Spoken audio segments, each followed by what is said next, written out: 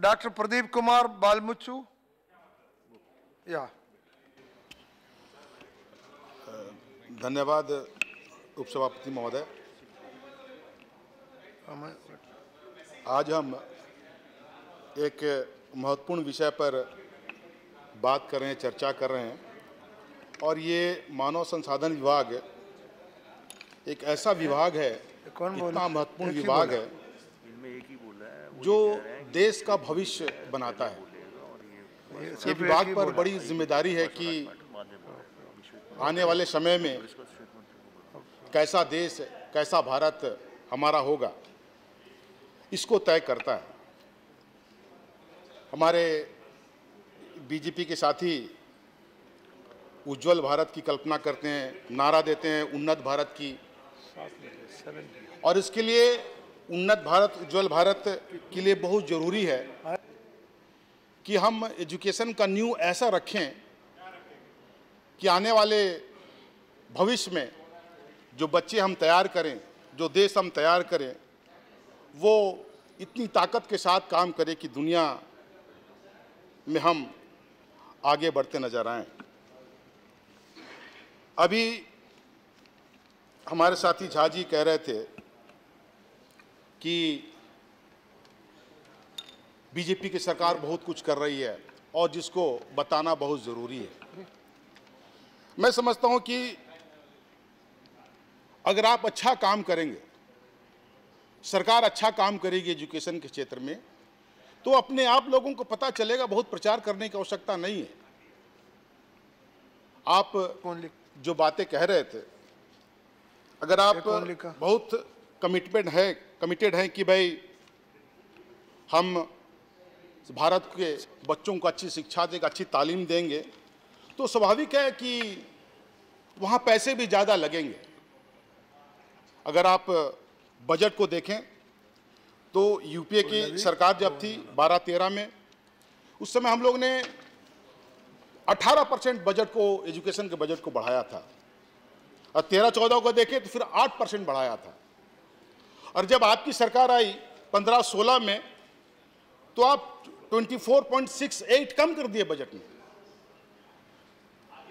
और तो और इस साल 16-17 की देखें तो 82 82771 से घटाकर 69074 करोड़ रुपया कर दिया। इस बार भी आपने बजट को घटा दिया। और आप कहते हैं कि हम इस देश को उज्जवल बनाना चाहते हैं। अगर आपके पास पैसे नहीं रहेंगे तो आप कैसे काम करेंगे? सर्व शिक्षा के अभियान की बात करें तो आप 24.14 कम कर दिए परसेंटेज मिड डे मील की बात करें तो उसमें पैसे 16.4 आपने पैसे कम कर दिए। और अगर पूरे बजट को देखें तो जो मुझे जानकारी है कि पचास हज़ार करोड़ की डिमांड आपने की थी, विभाग ने किया था मंत्री जी ने किया था, मगर मंत्रालय से, वित्त मंत्रालय से मात्र बाईस हज़ार करोड़ उनको मिले। अब समझ लीजिए, इसे कमिटमेंट आपका करनी और कथनी में कितना फ़र्क है। आपको लगता है कि पचपन करोड़, पचपन हज़ार करोड़ रुपया खर्च होंगे, मगर सरकार आपको सिर्फ़ बाईस हज़ार करोड़ रुपया देती है। ये तो आपका तस्वीर है, आप कहते कुछ है, मगर अगर ईमानदारी होती तो पचपन हज़ार करोड़ रुपया आप खर्च करते। आज हम शुरू से करें कि जो पहले क्लास में, प्राइमरी क्लास में एडमिशन मिलते हैं। अगर अभी स्कूल का मौसम ठीक अभी चल रहा है, थोड़ा दिन पहले क्लास में एडमिशन पहली क्लास के एडमिशन के लिए। हम लोग के पास बहुत पैरवी आते हैं कि अच्छे अच्छे स्कूल हैं, उसकी कमी इतनी ज़्यादा है कि लगता है कि पेरेंट्स इतना परेशान रहता है कि कैसे मेरा बच्चा का एडमिशन अच्छे स्कूल में हो जाए। और जहाँ तक सरकारी स्कूल की बात है, सरकारी स्कूल की हालत तो ऐसी है कि जो टीचर वहाँ पढ़ाते हैं, वो अपने बच्चों को वहाँ नहीं पढ़ाते हैं। वो चाहते हैं कि अपना बच्चा जाएगा पब्लिक स्कूल में, इंग्लिश मीडियम में जाएगा, कॉन्वेंट में जाएगा, वो अपने स्कूल में नहीं पढ़ाएगा अपने बच्चों को। और अभी आपने लॉटरी का सिस्टम शुरू कर दिया कि भाई, पैरवी होती है, लॉटरी करेंगे। अच्छी बात है। मगर लॉटरी में गरीब आदमी का नंबर नहीं आता आता ही ना I S I S I P S सबका नंबर आ जाता बच्चों का। पता नहीं कैसे लॉटरी होती है। उनका बच्चा तो कभी दूसरे स्कूल में नहीं पढ़ता, सब अच्छे स्कूल में पढ़ता है। अगर लॉटरी का सिस्टम है तो कोई ना कोई तो ठीक ठीक बात कर रहे हैं। इसलिए मैंने कहा कि कहीं तो गड़बड़ी है। अगर उसके बच्चे को हर समय अच्छे स्कूल में कैसे एडमिशन मिल जाता? है आज करीब करीब 35 मिलियन बच्चे स्कूल नहीं जा रहे हैं, जो 6 से 14 वर्ष के हैं। अगर ये बच्चे भी स्कूल जाना शुरू कर दें तो जो मैंने कहा कि पहली स्कूल से कैसे दाखिला में कितनी दिक्कतें होती है, अगर ये जो बच्चे 35 मिलियन जो बच्चे नहीं जा रहे हैं, अगर वे बच्चे जाना शुरू कर दें, तब तो फिर देश का क्या होगा समझ लीजिए, बच्चों का क्या होगा समझ लीजिए। स्कूल है ही नहीं है। आज अच्छे स्कूल की जहाँ तक बात करते हैं तो इस बात की बहुत आवश्यकता है कि हम सरकारी स्कूलों को कैसे मज़बूत करें, उसके क्वालिटी को कैसे बढ़ाएँ। बहुत सारे लोगों ने कहा अभी अपनी बातों में कि कैसे क्वालिटी में इंप्रूव करें। ताकि गाँव के बच्चे जो देहात में रहते हैं, वहीं पर अच्छी तालीम ग्रहण कर सके। इसके लिए आपको परिश्रम करना पड़ेगा। अगर सरकार अलग अलग, सरकार अलग अलग नॉर्म्स बनाती है, प्राइमरी स्कूल के लिए ये कहा जाता है कि एक किलोमीटर के अंदर बच्चों को स्कूल मिलना चाहिए। सेकेंडरी स्कूल के लिए जो छः से आठ के बच्चे पढ़ते हैं, उनको करीब दो दो किलोमीटर के रेडियस में स्कूल मिलना चाहिए। अगर आप देखें तो क्या स्थिति है? क्या एक किलोमीटर के अंदर में हम एक से पाँच जो प्राइमरी स्कूल है, वो शिक्षा बच्चों को दे पा रहे हैं? या फिर मिडिल स्कूल की बात करें, दो किलोमीटर के रेडियस में क्या हम दे पा रहे हैं? कतई नहीं। और तो शिक्षक की भी कमी है। और टीचर्स टीचर्स ट्रेनिंग इंस्टीट्यूशन जो है, उनकी भी कमी है। और जो रेशियो है करीब करीब जो सरकारी आंकड़े बताते हैं टीचर और बच्चों का रेशियो जो है, वो करीब करीब थर्टी सेवन परसेंट से कम है आपका। सिर्फ़ आप फुलफिल करते हैं सिक्सटी थ्री परसेंट कहने का मतलब कि आपके पास टीचरों की सख्त कमी है। करीब करीब सब शिक्षा अभियान में सिर्फ़ को देख लें तो छह लाख टीचरों की जगह खाली है वैकेंसी पड़ी हुई है। छह लाख बच्चे सर्व शिक्षा अभियान में सिर्फ़। अगर सेंट्रल स्कूल की बात कर लें तो उसमें करीब साढ़े सात सात हज़ार छह सौ नाइन्टी एट पोस्ट खाली पड़े हैं out of forty four five two nine तो ये बताता है कि अगर शिक्षक आपके पास होंगे नहीं तो कैसे पढ़ाएँगे? प्राइमरी स्कूल को देख लें मिडिल स्कूल है उसमें पाँच क्लास एक के पाँच क्लास है, उसमें दो टीचर हैं। हाई स्कूल में देख लें यूनिट सेंक्शन है दस टीचर दस होने चाहिए वहाँ पर तीन टीचर तीन टीचर में भी एक तो ऑफ़िस का काम करता है और दो टीचर पढ़ाते हैं।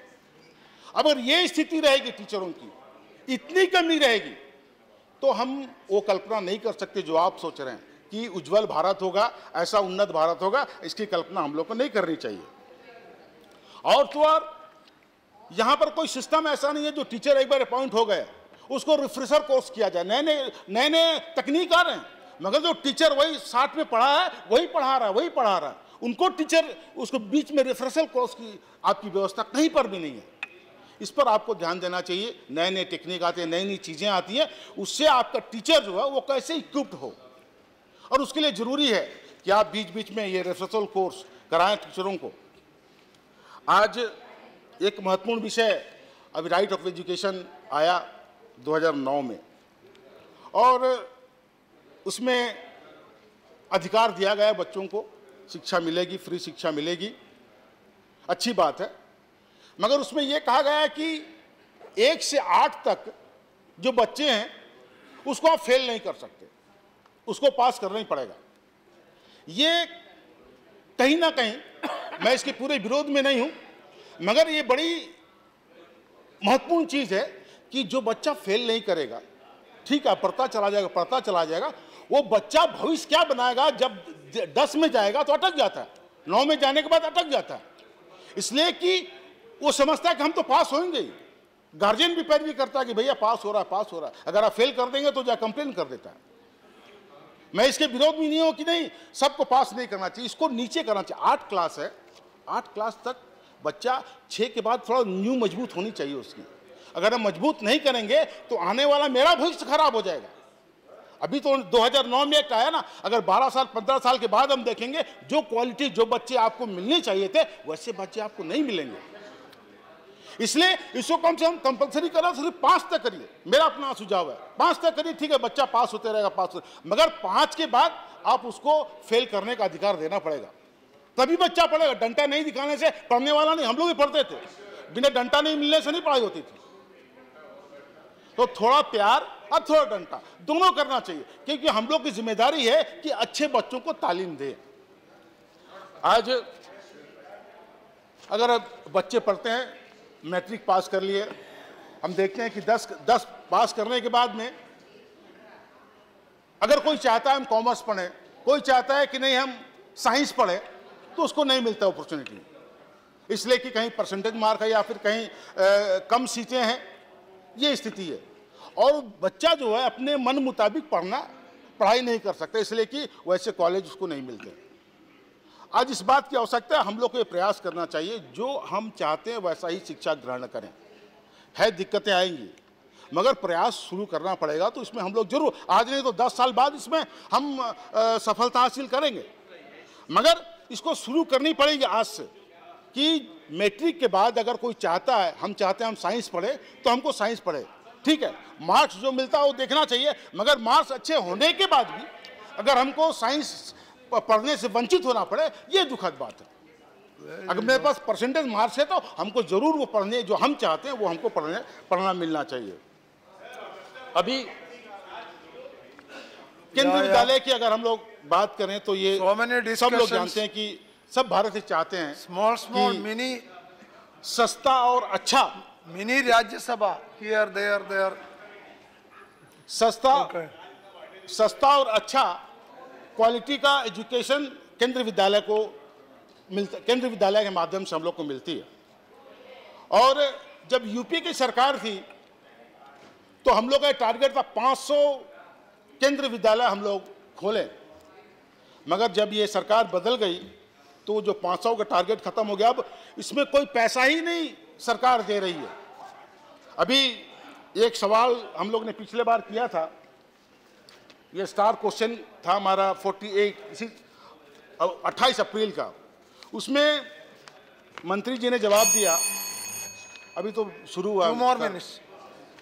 मंत्री जी ने जवाब दिया Our two minutes. कि जो ट्राइबल क्षेत्र हैं और जो उग्रवाद क्षेत्र हैं वह उस जगह पे हम लोग से- सेंट्रल स्कूल खोलेंगे, उसमें 34 का एनेक्शर आपने दिया, चौंतीस है। हम सिर्फ़ आपसे जानना चाहेंगे कि हमारा झारखंड उग्रवाद प्रभावित भी है और पूरा ट्राइबल क्षेत्र है।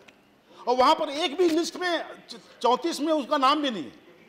इसलिए मैंने कहा कि आज इस बात की बहुत आवश्यकता है कि मैंने कहा कि क्वालिटी एजुकेशन सस्ता एजुकेशन केंद्रीय विद्यालय देता है और इस बात की बहुत ज़्यादा आवश्यकता है कि हम कैसे अधिक से अधिक केंद्रीय विद्यालय और खोलें। उसी तरह कस्तूरबा गांधी एक ऐसा विद्यालय है जहाँ पर बच्चे जो वंचित समुदाय के बच्चे हैं चाहे वो एस है एसटी है ओबीसी है माइनॉरिटी है वैसे 75 परसेंट बच्चों को उसमें एडमिशन दिया जाता है और रिज़र्व रहता है उसके लिए ओके Okay, now मगर-. Conclude. ठीक है तो मगर उसमें देखें तो सरकार उस क्षेत्र में भी कस्तूरबा गांधी को भी खोलने के लिए उसमें अच्छा रिज़ल्ट मिल रहा और वैसे बच्चे जो मैंने कहा डिप्राइव एस सी बच्चे लोग को एडमिशन मिलता है उसमें तो उसको ज़्यादा खोलने की आवश्यकता है मगर उसमें भी सरकार बड़ी धीमी है और सरकार वो खोलना नहीं चाहती कि और अधिक हम इसमें खोलें। और जो मॉडल स्कूल की बात है उसमें तो बड़ी सरकार ने कह दिया है कि 6000 मॉडल स्कूल जो बैकवर्ड डिस्ट्रिक्ट में खुलने के खुलने का कार्यक्रम था उसमें सरकार केंद्र सरकार ने कह दिया कि स्टेट कट के हम कोई भी पैसा स्टेट गवर्नमेंट को खोलने के लिए मॉडल स्कूल खोलने का नहीं देंगे। तो ये समझ सकते मैंने ये तस्वीर दिखाने का प्रयास किया कि ये सरकार कहती है कि हम ऐसा कुछ करेंगे, मगर तस्वीर अगर देखेंगे तो ऐसा कुछ करता हुआ नज़र नहीं आ रहा है। आज अच्छी अच्छी इंस्टीट्यूशन की बात की, मैं थोड़े शब्दों में अपनी बातों को रखूँगा। बहुत बहुत सारे लोगों ने कहा कि हायर एजुकेशन के बारे में। अभी जब यूपी की सरकार थी, हमारा फ्लैगशिप प्रोग्राम था कि आईआईटी खोलना। अब इनको, जब सरकार आई तो इनको इन्होंने आगे बढ़ाया।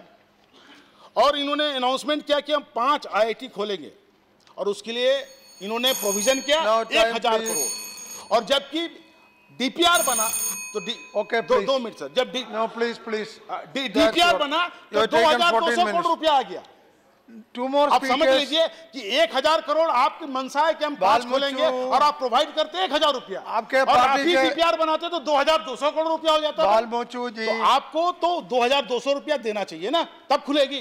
आपके पार्टी कहा से दो आवर लोग बात करने के लिए किए इसलिए अब बैठिए दो दो मिनट सर खत्म कर दे खत्म कर साल में एक ही बार आता है पीछे हो गया।